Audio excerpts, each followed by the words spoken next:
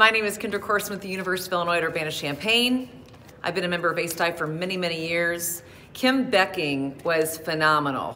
How that being very conscientious of what you can let go of and not let go of is your number one priority. And making yourself your number one priority is also what she spoke about. So I would encourage anyone that could go to a session or a workshop or any type of thing that she offers to do that. She's remarkable and she shares a lot of her real life experiences with everybody so they can relate to her session.